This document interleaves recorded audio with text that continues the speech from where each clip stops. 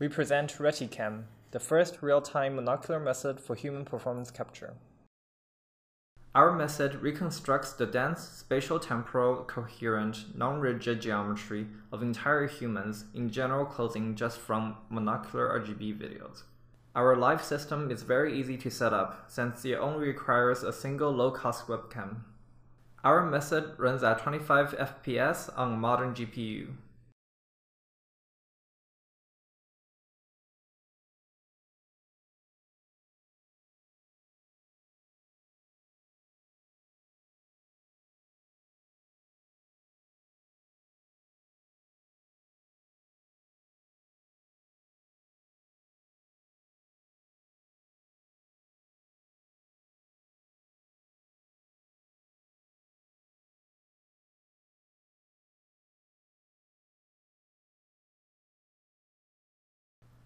The real-time performance allows the user to get a direct feedback which facilitates many real-time applications in telepresence, VR, and AR, such as virtual try-on.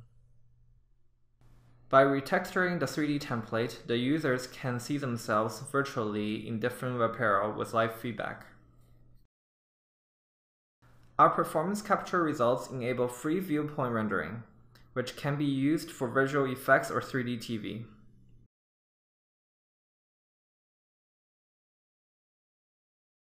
Our method relies on a pre-processing step to reconstruct the actor model. To this end, we take a video with a handheld camera while walking around the subject who is standing in a static T-pose. A subset of the video frames is used to reconstruct a textured 3D template of the subject. To model materials different in non-rigidity, we applied the state-of-the-art human parsing method on the video frames and back-project the resulting semantic labels onto the template. The per vertex labels are then used to automatically adapt the rigidity regularizer weights during the non-rigid tracking. Finally, we rigged the model with a kinematic skeleton.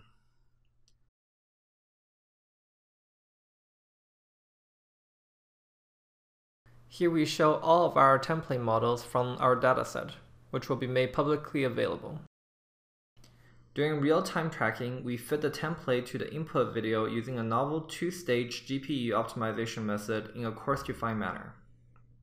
In the first stage, our real-time skeleton pose optimizer fits the skinned template to 2D and 3D pose detection, to sparse detected facial landmarks, and to the foreground silhouette.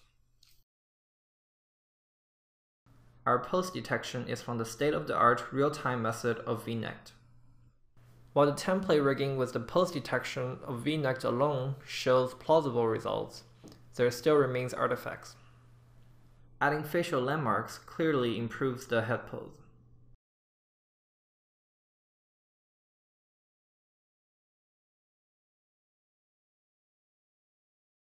And the silhouette term give a more accurate pose in terms of image overlay.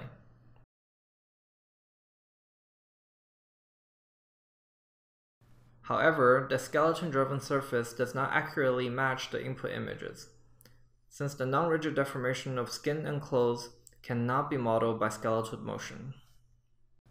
Therefore, in our second stage, dense non-rigid 3D deformation of the surface is captured by minimizing a template to image alignment energy designed for real-time performance. Now we show more results. Note that the non-rigid deformation of the loose closes, which cannot be modeled by the skeleton tracking alone, is accurately captured by our full pipeline.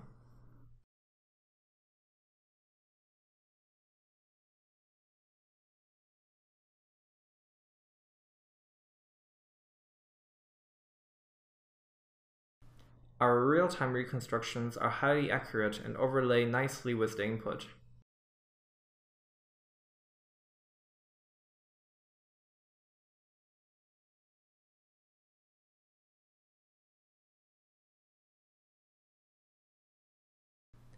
Also note that our reconstruction results accurately match the images captured from a reference view, which are not used for tracking. This means our reconstruction is accurate in 3D, even though our monocular setting is highly challenging.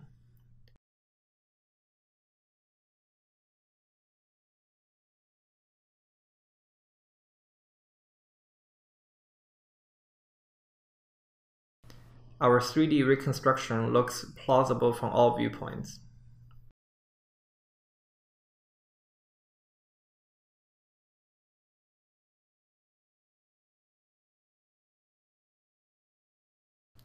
Our method generalizes well to large variety of motions.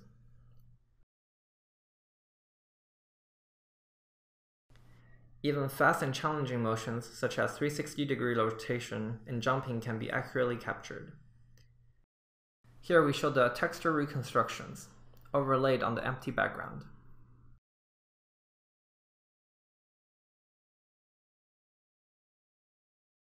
Note that input and synthesized image are realistic due to our high reconstruction quality.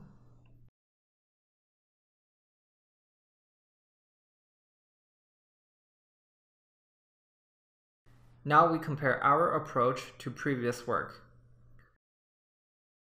Here we compare against two monocular methods that capture only 3D skeletons.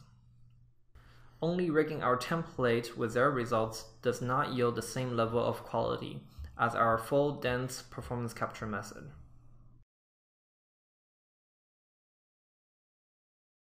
Also note that our approach is the only one which can recover the head pose correctly our method come close in quality to the offline monocular performance capture method of Xu et al.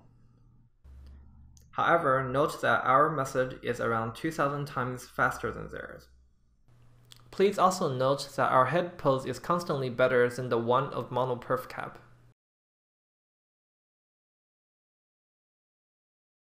As is common for learning methods, the underlying 3D joint regression deep network fails for extreme poses not seen in training. Our model fitting can often, but not always, correct such wrong poses which produces glitches in the tracking results. However, our performance capture approach robustly recovers from such situations. Thank you for your attention.